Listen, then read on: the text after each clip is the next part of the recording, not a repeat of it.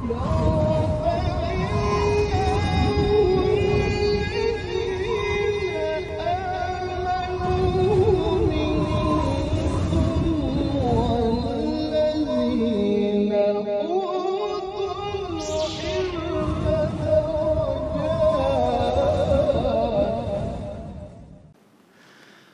بالله من الشيطان الرجيم.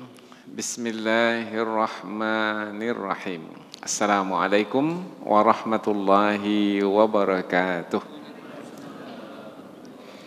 Alhamdulillah Rabbil Alamin Wa bihi nasta'in Wa ala umuri dunya wa din Nasta'inuhu wa nastaghfiruh Wa na'udhu billahi min shururi anfusina Wa min sayyiyati a'malina فمن يهد الله فلا مضل له ومن يضلل فلا هادي له أشهد أن لا إله إلا الله وحده لا شريك له وأشهد أن محمدا عبده ورسوله لا نبي بعده أما بعد Puji syukur kehadiran Allah Subhanahu wa taala yang masih melimpahkan rahmat dan nikmatnya. Kita bersyukur dengan mengucapkan alhamdulillahirabbil alamin. Kemudian tidak lupa pula bersalawat kepada Rasulullah dengan mengucapkan Allahumma salli ala Sayyidina Muhammad wa ala ali Sayyidina Muhammad. Dan bersalam kepada Rasulullah dengan ucapan Assalamu alayka ya Rasulullah. Alhamdulillah kita dapat kembali meneruskan pengajian tafsir ayat-ayat suci Al-Quran yang insya Allah kita akan teruskan kepada ayat yang ke-30 hingga 34 dari surah Al-Furqan yaitu yang menerangkan tentang Rasulullah sallallahu alaihi wasallam yang mengadukan yang mengadukan keadaan yang beliau rasakan yaitu suasana hati yang tidak nyaman disebabkan karena penolakan kaum yaitu apabila Rasulullah dahulu berdakwah di kota Mekah menyampaikan kebenaran melalui Al-Quran yang disampaikan yang mana bangsa Arab khususnya penduduk kota Mekah pada masa dahulu menolak Al-Quran tidak mau menerima Al-Quran maka keadaan yang seperti itu membuat Rasulullah menjadi menjadi tidak nyaman, menjadi gelisah, menjadi risau, menjadi tidak tenang sehingga mengadukan keadaan hati baginda, suasana jiwa baginda kepada Allah Subhanahu wa taala yaitu uh, Rasulullah sallallahu alaihi wasallam menyampaikan wahai Tuhanku sesungguhnya kaumku meninggalkan Al-Quran ini. Rasulullah sedih? Ya, sedih.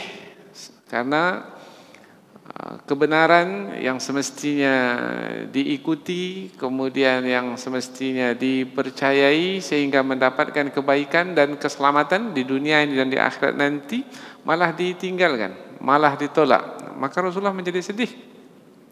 Namun Allah segera menghibur baginda Rasulullah sallallahu alaihi wasallam bahwasanya itu sudah sunnatullah, itu sudah menjadi ketetapan Allah. Wahai Muhammad, bukan kamu saja yang ditinggalkan oleh kaummu. Rasul-rasul sebelummu pun juga ditinggalkan oleh kaumnya. Itu sudah ada di setiap keadaan, di setiap zaman yaitu pada masa Rasul sebelum Nabi Muhammad Nabi Isa alaihissalam atau Nabi Musa alaihissalam atau Nabi Ibrahim alaihissalam atau Nabi Nuh alaihissalam jadi itu adalah sunatullah yaitu ketetapan Allah yang tidak pernah berubah semenjak dahulu maka apa yang perlu kamu lakukan wahai Muhammad adalah sampaikan terus kebenaran itu seperti apa manusia terhadap kebenaran itu menerima kebenaran ataukah menolak kebenaran serahkanlah kepada Allah Subhanahu wa taala. Apa yang perlu kamu lakukan adalah wahai Muhammad terus berdakwah, terus menyampaikan kebenaran dan mintalah petunjuk kepada Allah Subhanahu wa taala dan mintalah pertolongan kepada Allah karena yang menentukan segala-galanya adalah Allah Subhanahu wa taala. Ah, inilah ayat yang akan insya-Allah kita bahas nanti yaitu berkaitan dengan kesedihan yang dialami oleh Rasul yang mana kaum baginda ketika Rasulullah memulai dakwah di kota Mekah menolak kebenaran dengan berbagai macam alasan. Umpamanya menolak Al-Quran sebagai kitab suci yang turun dari sisi Allah dengan mengatakan bahwasanya mengapa kitab suci yang diturunkan kepada Muhammad itu tidak seperti kitab suci yang diturunkan kepada rasul-rasul yang terdahulu. Apabila kitab suci yang diturunkan kepada rasul-rasul yang terdahulu itu turun sekaligus, sekali turun, mengapa pula kepada Muhammad itu turunnya sedikit-sedikit? Kemudian dalam waktu yang lama, nah, artinya mereka mencari-cari alasan untuk menolak Al-Quran. Namun Allah Subhanahu wa taala memberikan jawaban kepada rasulnya bahwasanya penurunan Al-Qur'an yang sedikit-sedikit berangsur-angsur tidak sekaligus itu adalah untuk mengokohkan hati Nabi dalam menerima kebenaran dan memudahkan Nabi dan orang-orang beriman dalam mengamalkan Al-Qur'an. Apabila diturunkan semua sekaligus maka akan berat untuk memahami dan berat juga untuk mengamalkannya. Kemudian Allah juga menjelaskan dalam ayat yang akan kita pelajari nanti bahwasanya akibat atau balasan buruk yang akan diterima oleh orang yang menolak kebenaran, menolak Al-Quran sebagai kitab suci yang diturunkan dari sisi Allah, menolak Nabi Muhammad sebagai Rasul yang diutus oleh Allah Subhanahu Wa Taala. Akibatnya adalah orang yang menolak itu akan diseret ke neraka jahanam yang mana wajah mereka itu berada di bawah. Maknanya mereka diseret dalam keadaan tubuh mereka terbalik. Kaki mereka ke atas, kepala mereka ke bawah. Kemudian wajah mereka yang biasanya sebagai yang dijaga, dipelihara selama mereka hidup di dunia, wajah itu pula nanti yang akan diseret ke neraka jahanam. Berarti wajah itu berada di bahagian bawah dari tubuh mereka, mereka dalam keadaan terbalik diseret ke neraka jahanam dan itu adalah uh, seburuk-buruk tempat dan neraka jahanam adalah tempat yang paling berat karena siksaan dan azab yang bermacam ragam.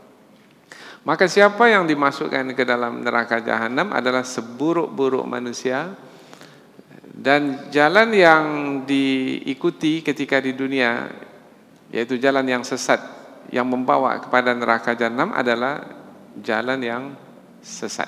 Jalan yang paling sesat yang diikuti. Karena tidak menyampaikan ketujuan dari perjalanan hidup yang sebenarnya karena tujuan dari perjalanan hidup kita ini adalah untuk sampai ke surga tetapi karena tersesat jalan sehingga sampainya ke neraka. Maka jalan yang ditempuh oleh orang yang menolak kebenaran adalah jalan yang sesat. Dan disebutkan dalam ayat ini adalah jalan yang paling sesat Nanti kita akan terangkan apa makna paling sesat ini. Maknanya jalan yang sangat sesat sekali. Tidak ada lagi yang lebih sesat dari itu. Yaitu jalan yang pada akhirnya membawa ke neraka jahanam.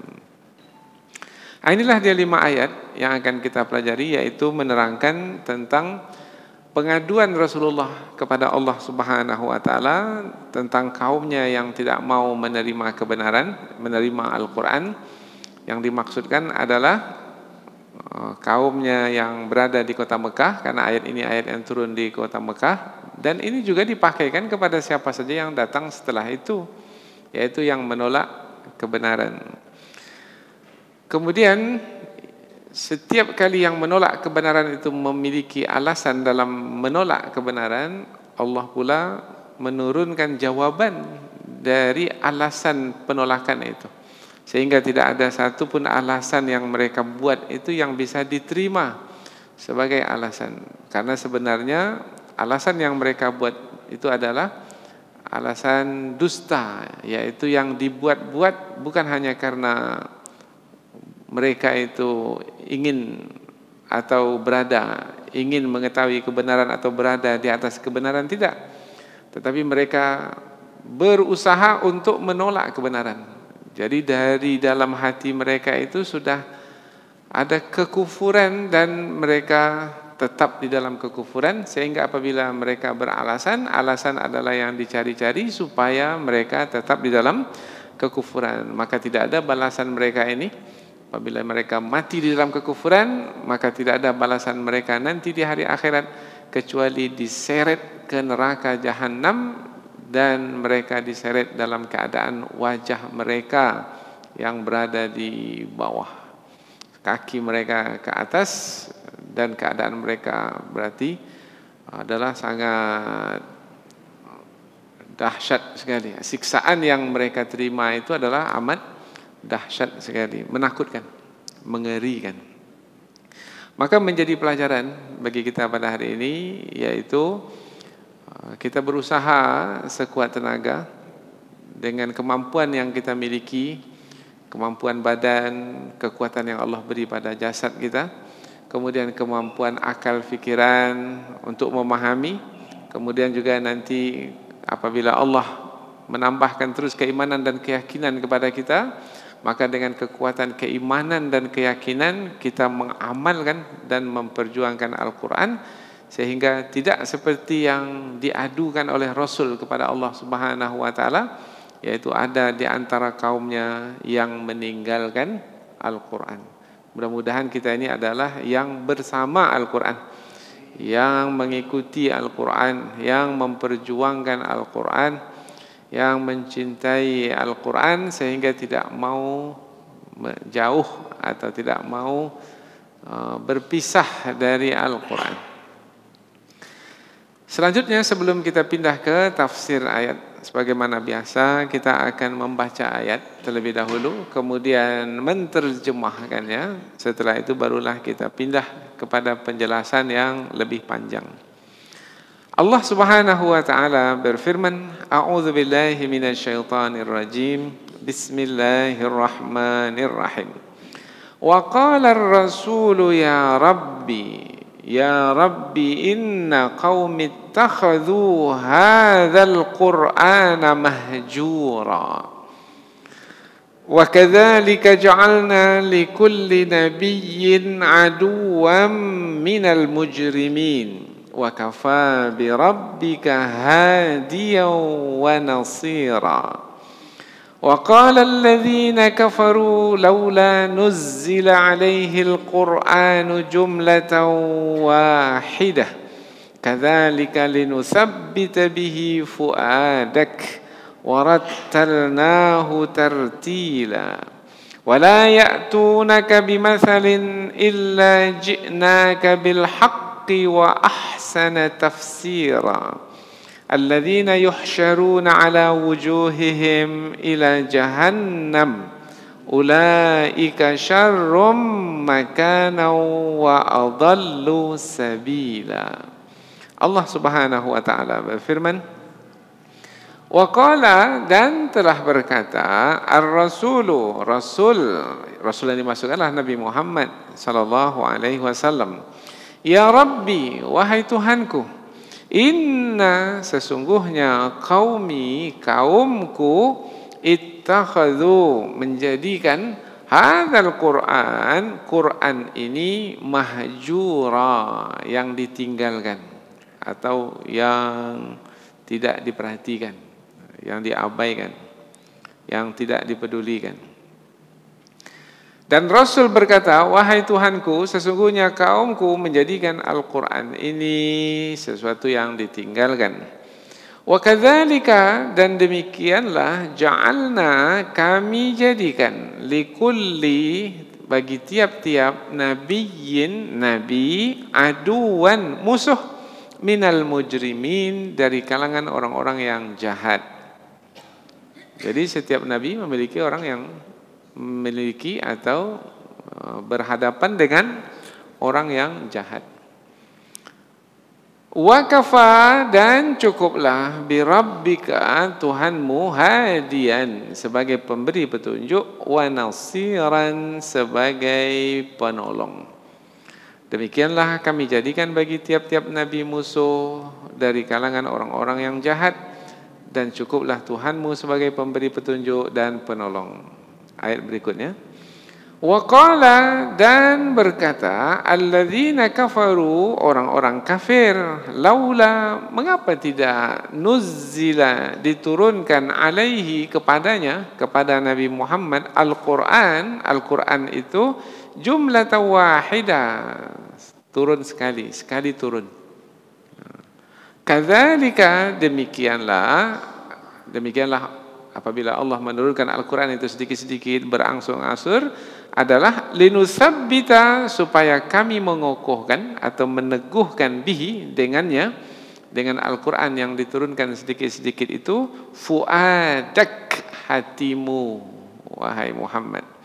Warattalnahu dan kami mentartilkannya tartila dengan tartil yang sebenarnya. Tartil membacakan dan kami membacakannya dengan bacaan yang teratur, yang benar, yang yang apa, yang baik, yang terbaik.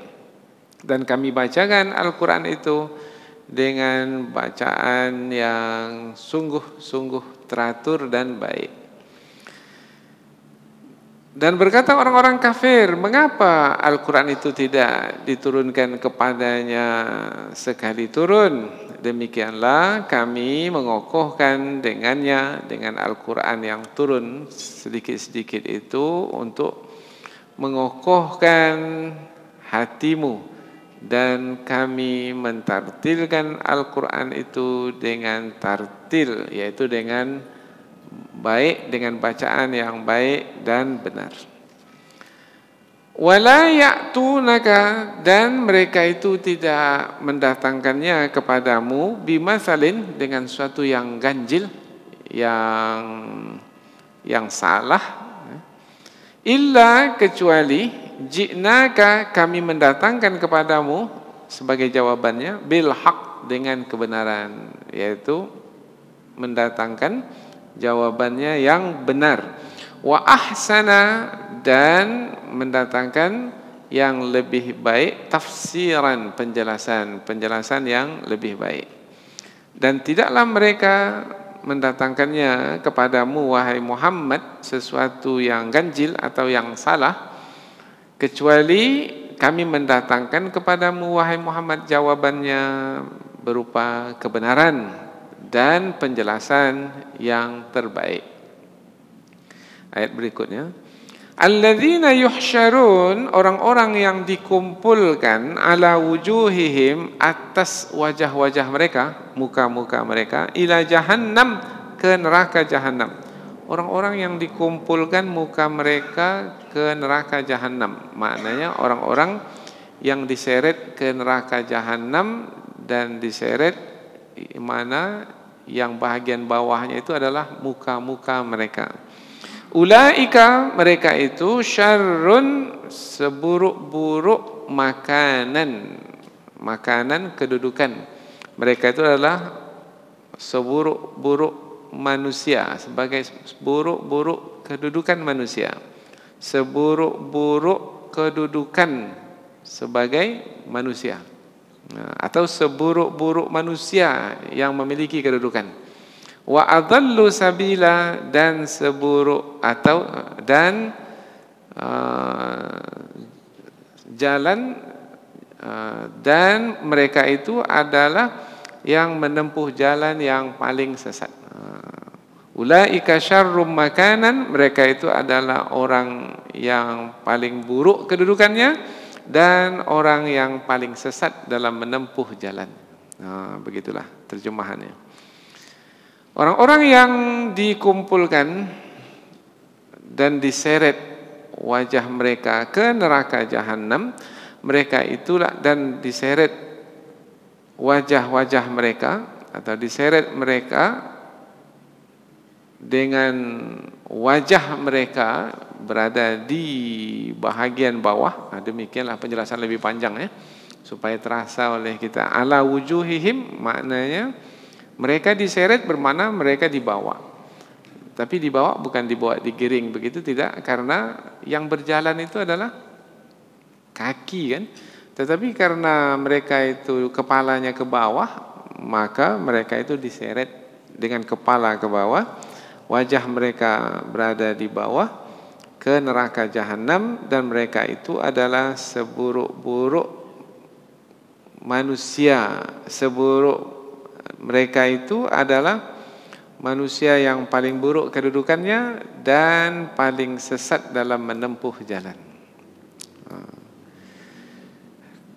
Ketika kita membaca ayat dalam bahasa Arab, kemudian kita menerjemahkannya ke dalam bahasa Indonesia, maka kita mesti pandai mana yang kita dahulukan, mana yang kita kemudiakan dalam menerjemahkan. Karena biasanya uh, di dalam bahasa Arab ada yang diletakkan di belakang dan ada yang dibawa ke depan, takdim dan takhir. Kemudian juga dalam susunan juga demikian. Apabila ada penggunaan huruf di dalam bahasa Arab, maka biasanya perkataan huruf dengan yang kata benda yang ada setelah huruf itu dibawa ke hadapan. Dan apabila kita bawa ke depan di dalam bahasa kita kurang terasa oleh kita uh, untuk memahami kandungan ayat secara keseluruhan, maka barulah terasa kalau kita letakkan dia di belakang. Maka mesti pandai kita menyusun kata dalam bahasa kita untuk menerjemahkan apa yang tersusun di dalam bahasa Arab. Jadi dari lima ayat yang kita pelajari menerangkan bahwasanya Allah Subhanahu wa taala menerangkan melalui kelima ayat ini bahwasanya Rasulullah sangat terbeban dengan keadaan yang Rasulullah alami ketika Rasulullah menyampaikan Al-Quran. Yang membebankan Rasul adalah ketika kaum menolak Al-Quran. Mestinya kaum percaya kepada Al-Quran, kemudian mengikuti Al-Quran. Tetapi rupanya yang berlaku adalah kaum menolak Al-Quran, bahkan menentang Al-Quran. Allah menghibur Rasulnya bahwasanya Keadaan yang seperti itu bukan Rasulullah saja yang menjalaninya. Keadaan yang seperti itu juga dahulu dilalui oleh rasul-rasul yang terdahulu, Nabi Ibrahim, Nabi Musa dan nabi-nabi yang lainnya.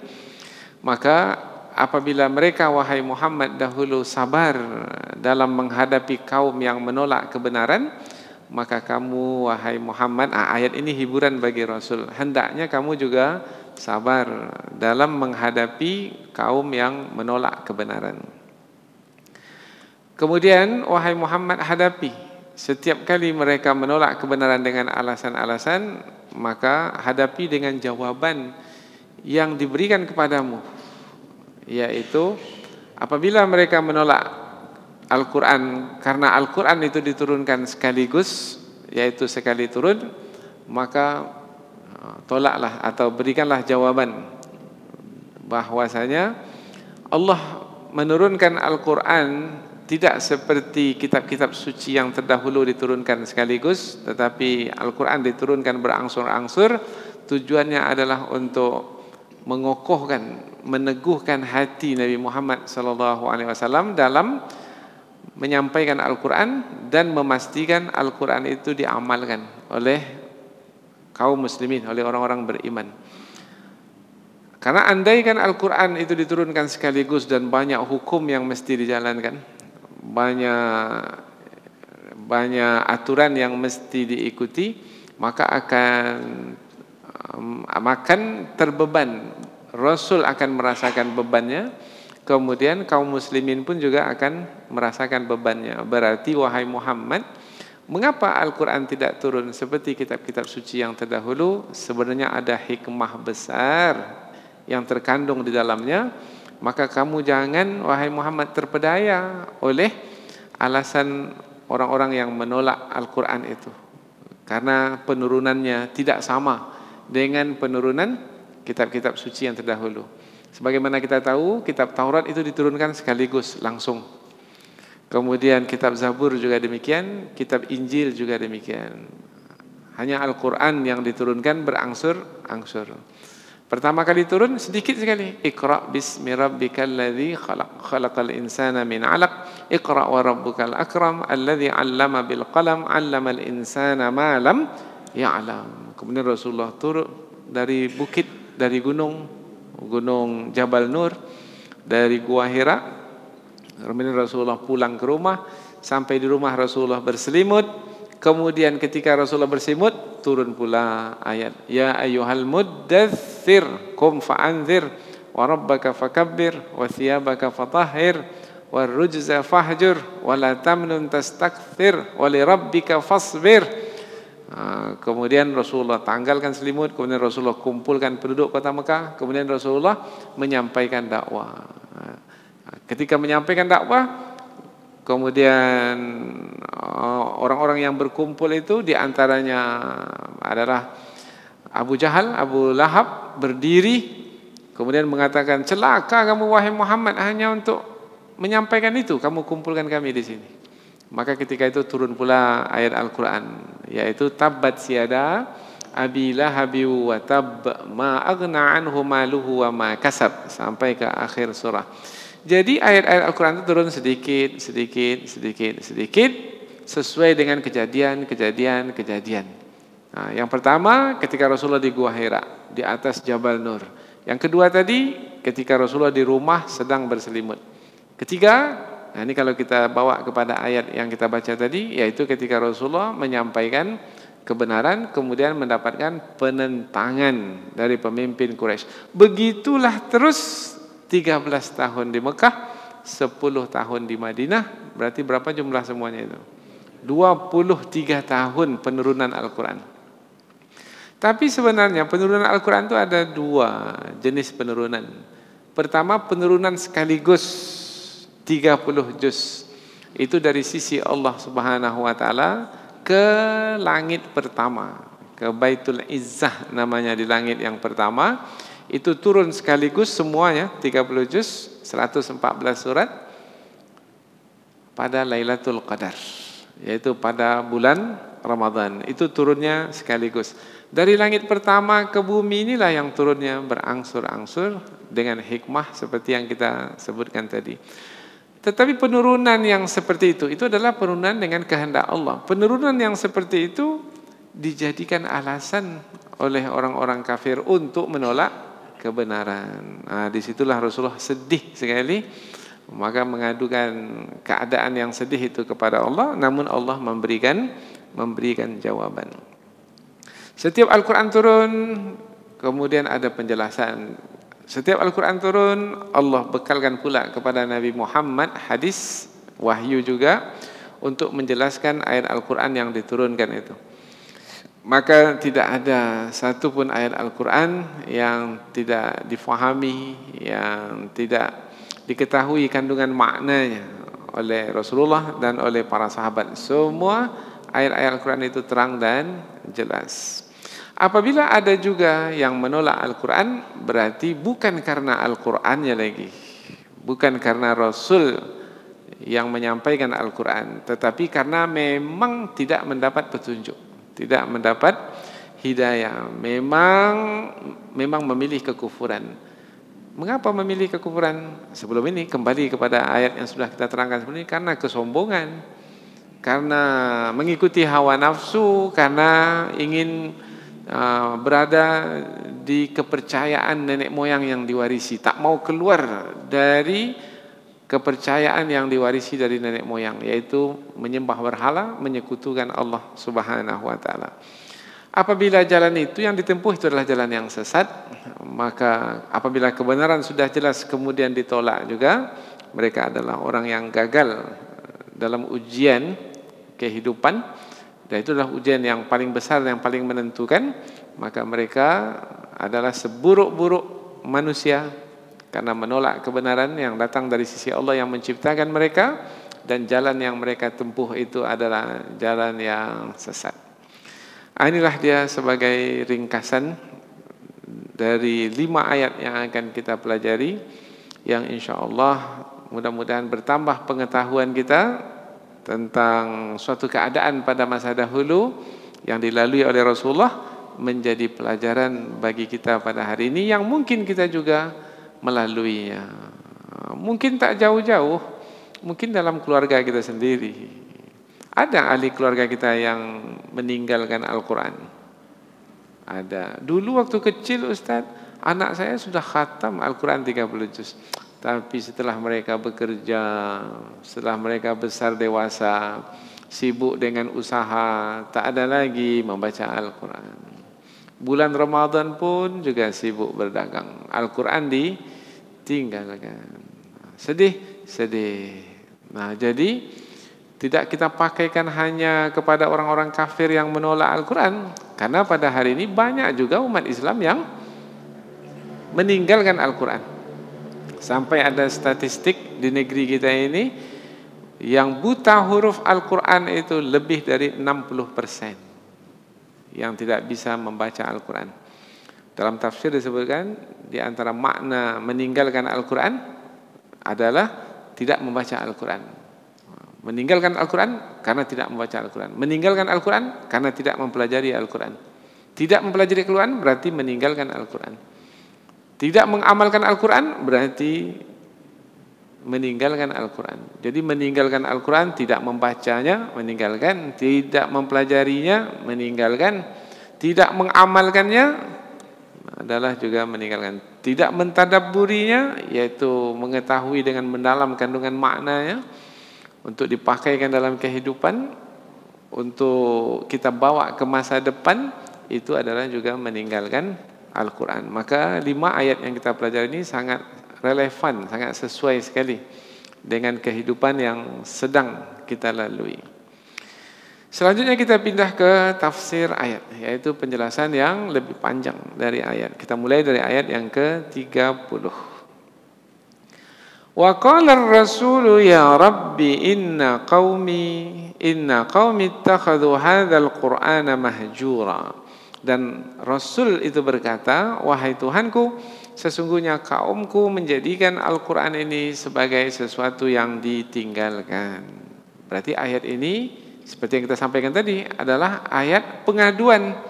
Karena kita menjumpai ada kata wahai Tuhanku telah berkata Rasul wahai Tuhanku bermakna istilahnya bahasa kita pada hari ini Rasulullah mencurahkan isi hatinya kepada Allah Subhanahu wa taala curhat mengadu melaporkan, memberitakan. Sebenarnya Allah tahu tidak bahwasanya kaum Nabi Muhammad itu meninggalkan Al-Quran? Tahu. Nah, tetapi Nabi Muhammad mengadukannya karena menjadikannya untuk berserah diri kepada Allah Subhanahu wa taala untuk bersama dalam menjalani hidup itu dengan Allah Subhanahu wa taala. Wahai Tuhanku, sesungguhnya kaumku menjadikan Al-Qur'an itu sesuatu yang ditinggalkan. Maka kita pula pada hari ini apabila kita menjalani suasana atau keadaan hati yang tidak nyaman, ada kegelisahan, ada kesedihan, ada kekecewaan, maka mengadulah. Kepada siapa mengadu? Kepada Allah. Bangun malam mengadu kepada Allah. Jangan tambah status di Facebook, kemudian di situ kita mencurahkan isi hati, tak ada penyelesaian. Penyelesaian sebenarnya adalah mengadu kepada Allah Subhanahu wa taala berserah diri. Karena boleh jadi ketika kita curhat di media sosial bukan masalah yang selesai, malah bertambah masalah baru. Karena yang mengomentarinya boleh jadi adalah orang yang tidak memahami apa yang sedang kita lalui. Maka apabila mereka berkomentar, komentar dari orang yang tidak mengetahui menyelesaikan masalah? Tidak, malah menambah masalah. Tapi apabila kita mencurahkan isi hati kita kepada Allah yang maha mengetahui keadaan kita, maka mudah-mudahan dengan berserah diri kepada Allah, Allah tidak akan meninggalkan hamba yang berserah diri kepadanya. Wahai Tuhanku, sesungguhnya kaumku menjadikan Al-Quran ini sebagai yang mahjura, ditinggalkan. Sebenarnya kata mahjura di sini adalah mahjura dari kata hijrah. Yang berhijrah maknanya yang meninggalkan. Berhijrah dari Mekah ke Madinah, meninggalkan kota Mekah, kemudian menuju kota Madinah. Yang meninggalkan Al-Quran bermakna yang tidak mau menerima Al-Quran, berpaling dari Al-Quran, membelakangi Al-Quran, itu namanya menjadikan Al-Quran sebagai mahjura yang ditinggalkan. Apabila ayat ini dibawa kepada orang-orang kafir, yaitu karena Rasulullah mengatakan sesungguhnya kaumku, kaumku yang dimasukkan itu adalah manusia, karena Rasulullah diutus kepada seluruh seluruh manusia. Namun awal-awal Rasulullah menyampaikan kebenaran, menyampaikan dakwah, menyampaikannya di kota Mekah. Maka kaum yang dimaksudkan adalah yang berada di kota Mekah. Kaum kaum apa yang ada di kota Mekah? Kaum Quraisy. Ah itu lebih kecil lagi. Nah, yang menolak Al-Qur'an itu dari kaum Quraisy adalah bukan sembarang orang, dari pemimpinnya dari Abu Jahal, Abu Lahab, pemimpin-pemimpin utamanya tidak mau menerima menerima Al-Qur'an. Nah, mereka tidak mau menerima Al-Qur'an, meninggalkan Al-Qur'an itu bagaimana cara mereka? Yaitu dengan tidak mau percaya kepada Al-Qur'an itu sebagai kitab suci dari sisi Allah Subhanahu wa taala. Tapi kan mereka mendengar juga Al-Quran itu disampaikan oleh Nabi Muhammad. Ya mendengarkan, tetapi mendengarkan dengan telinga tidak sampai ke hati. Jadi hanya sebatas di telinga saja. Bahkan ada yang apabila Rasulullah menyampaikan Al-Quran, maka mereka berkata-kata sesama mereka. Sehingga yang mereka dengar bukan Al-Quran yang dibacakan oleh Nabi, tetapi perkataan dari sahabat atau teman mereka. Karena mereka berbicara sama mereka, itu telah meninggalkan Al-Quran. Sama juga mungkin pada hari ini ada yang membaca Al-Quran di depan, kemudian kita ramai-ramai umpamanya di majlis tersebut. Nah, semestinya kita mendengarkan Al-Quran. Wa idza quri Al-Quran fastami'u lahu wa ansitu la'allakum turhamun. Bila Al-Quran dibacakan maka dengarkan, diam.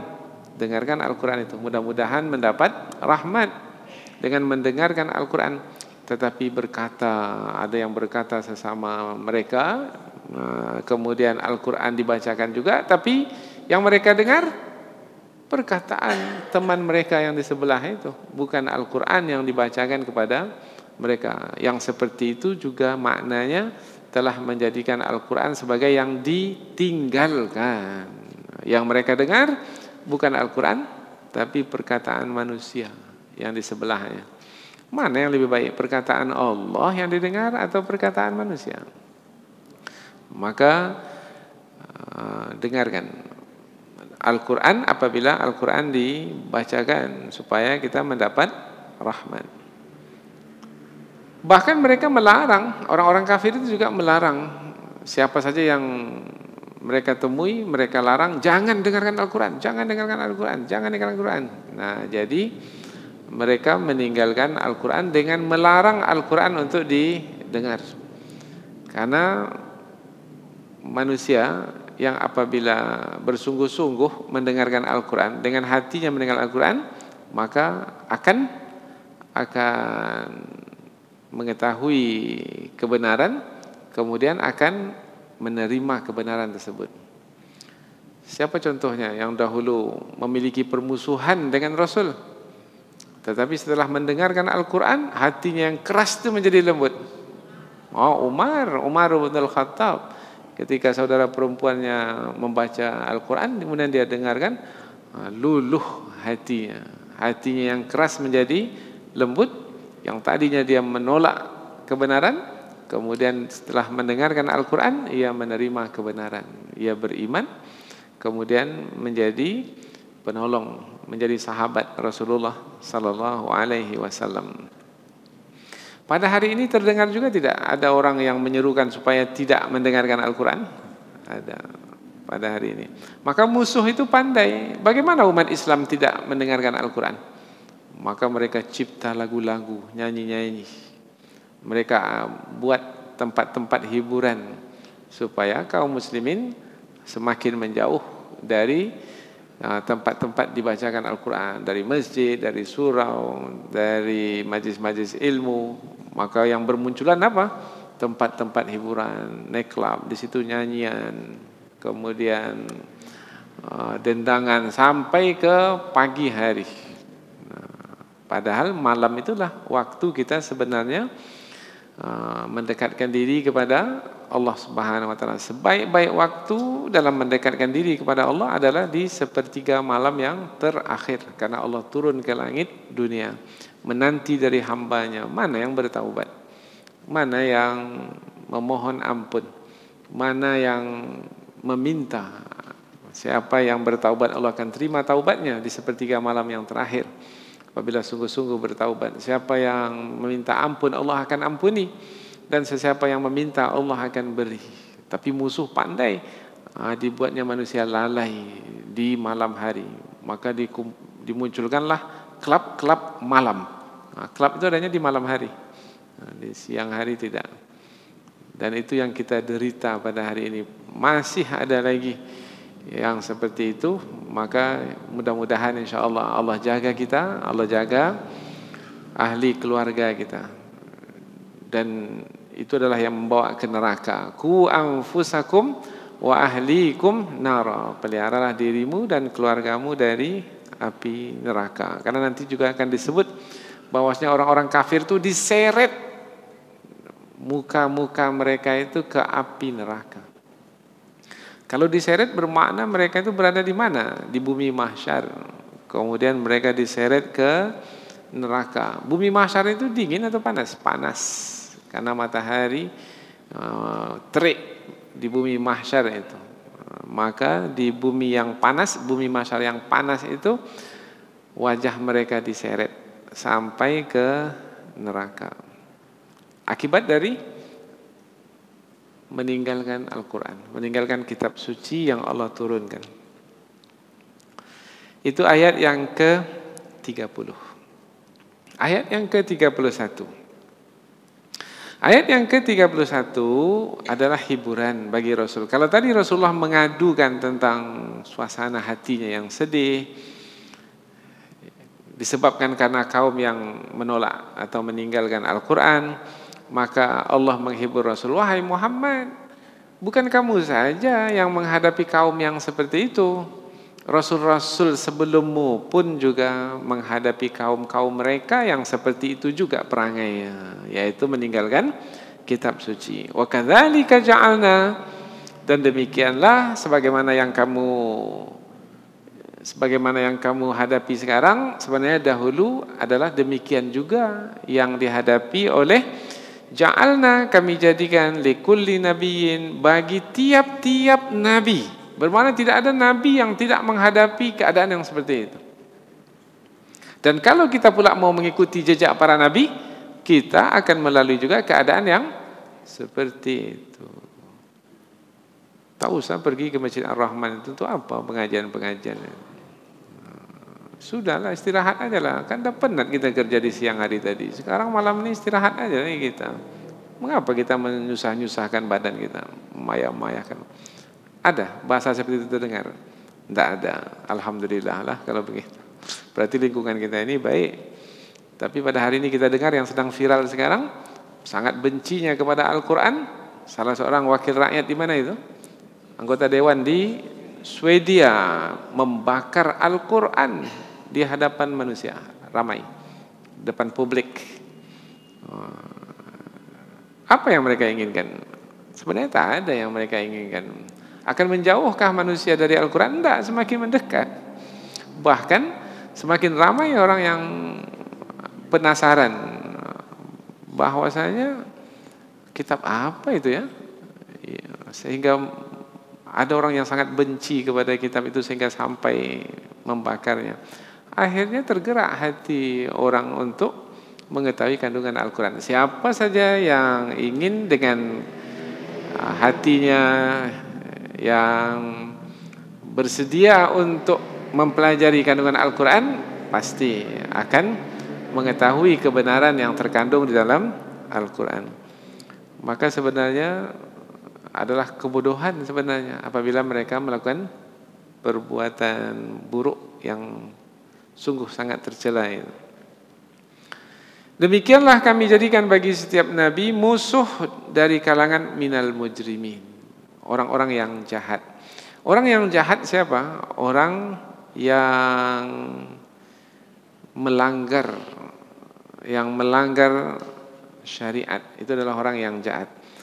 Mujrim juga dalam bahasa kita ini juga bahasa Inggris ya, jenayah, orang yang melakukan kriminal. Siapa orang yang melakukan kriminal itu? Adalah orang yang melanggar, melanggar aturan.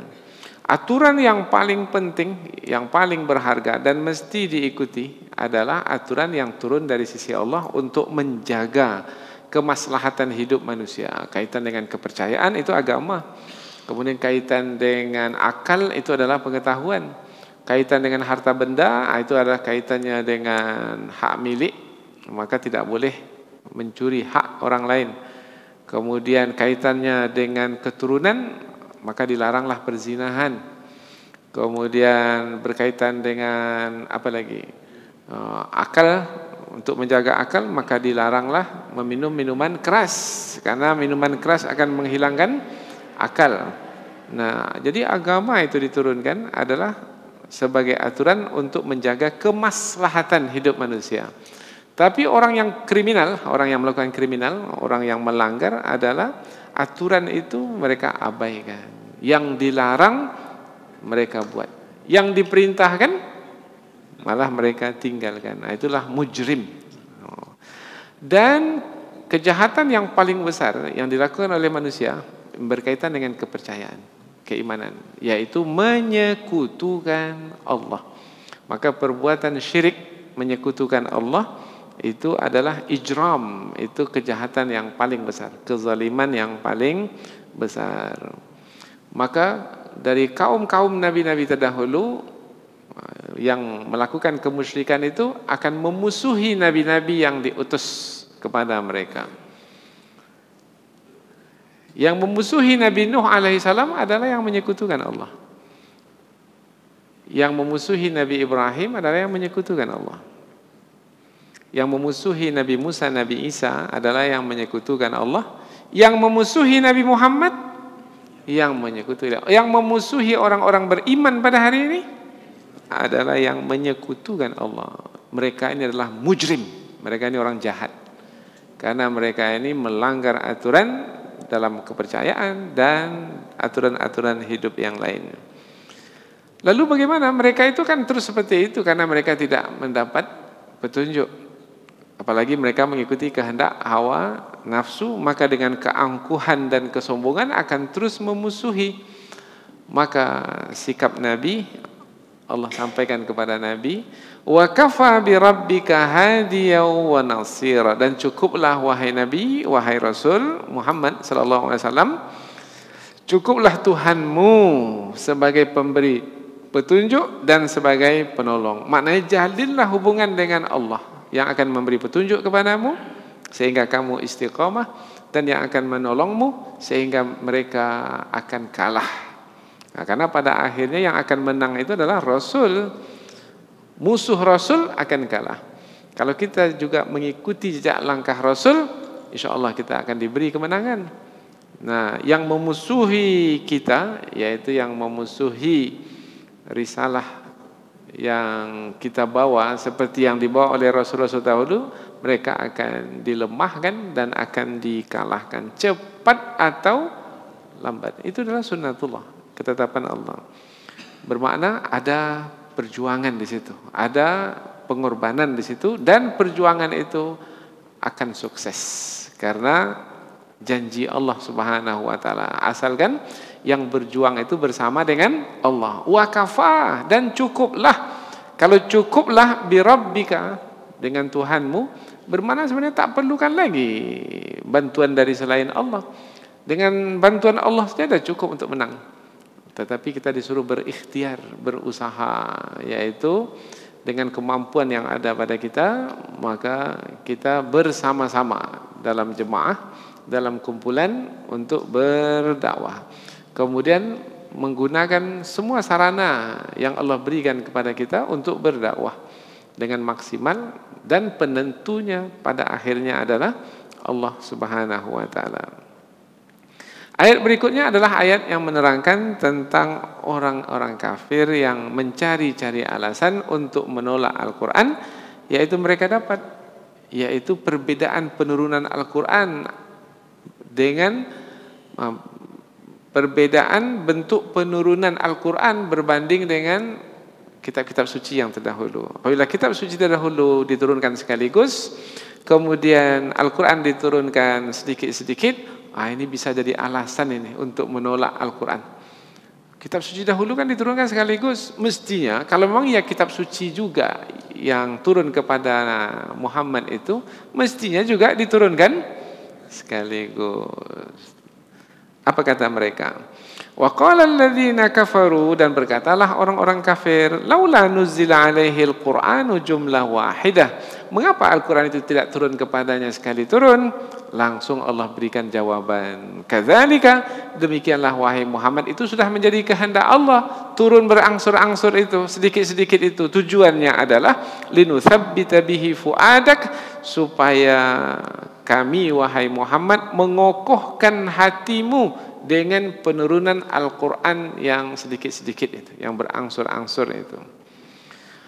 Ada tradisi pada bangsa Arab, yang tradisi itu tidak bisa dihilangkan apabila sekaligus hukum itu ditetapkan ke atas mereka. Umpamanya tradisi meminum minuman keras. Maka turunlah Al-Quran, berapa kali turun Al-Quran menerangkan tentang minuman keras. Pertama kali Al-Quran turun menyebutkan bahwasanya minuman keras itu tidak diharamkan.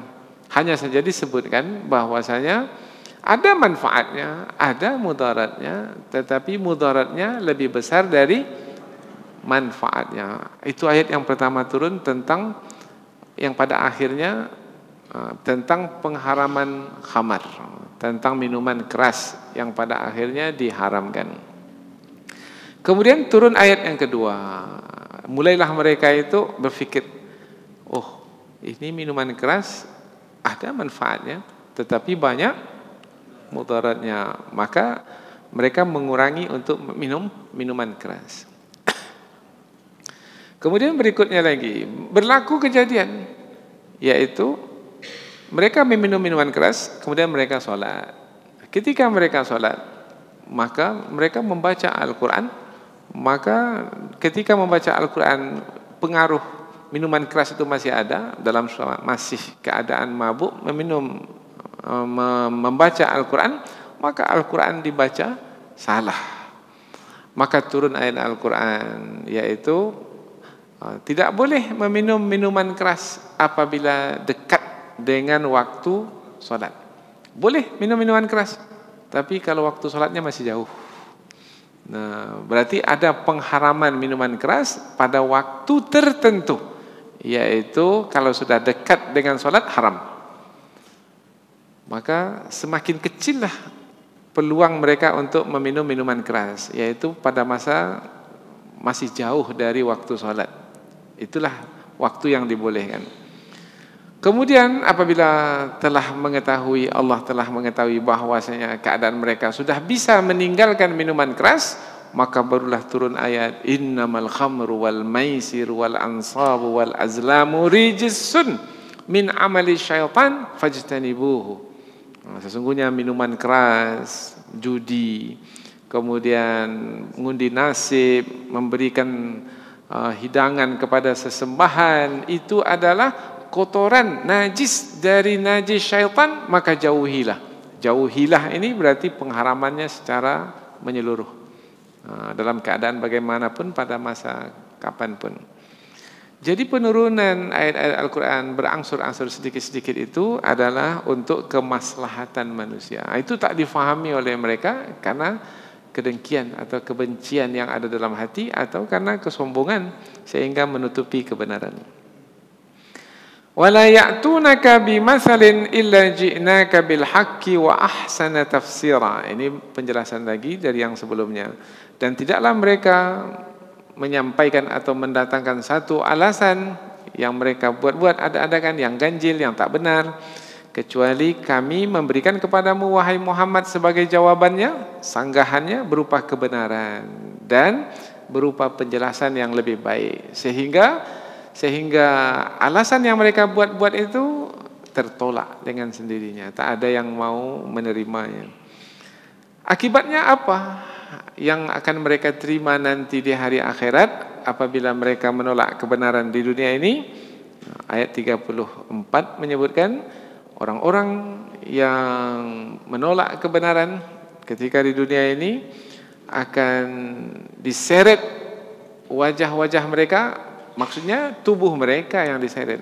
Bukan wajah saja yang diseret tubuh mereka. Tapi apa, mengapa di sini digunakan kata wajah? Karena bagian tubuh manusia yang paling agung paling mulia paling dijaga oleh manusia sebagai mewakili satu tubuh adalah wajah. Pas foto kita itu tubuh kita yang bagian mana yang diambil fotonya? Diambil gambarnya? Pas foto itu tangan di situ. Enggak. Kaki bukan. Wajah. Mengapa wajah sebagai yang mewakili. Ketika kita bersujud, apa yang kita letakkan di bawah untuk merendahkan diri di hadapan Allah yang Maha Tinggi? Wajah. Nah, wajah ini uh, yang mewakili tubuh yang biasanya dijaga dipelihara oleh manusia, wajah itu betul yang disebut sebagai mewakili diri tubuh yang diseret ke neraka jahanam ulaika syarrum makana wa adallu sabila. Mereka itu yang menolak kebenaran ketika di dunia yang akibatnya mereka mendapatkan siksaan di dalam neraka jahanam mereka itulah orang-orang yang yang paling buruk kedudukannya dan orang yang paling sesat dalam menempuh jalan. Mudah-mudahan insyaallah Allah jaga dan Allah pelihara kita dari dari kejahatan yaitu menolak kebenaran menolak Al-Quran sebagai kitab suci yang Allah turunkan menolak Rasul sebagai yang diutus menyampaikan kebenaran menolak hari akhirat sebagai hari pembalasan mudah-mudahan Allah Subhanahu wa taala senantiasa merahmati dan melindungi kita. Subhanakallahumma wa bihamdika asyhadu an la ilaha illa anta wa astaghfiruka wa atubu ilaik. Wassalamualaikum warahmatullahi wabarakatuh.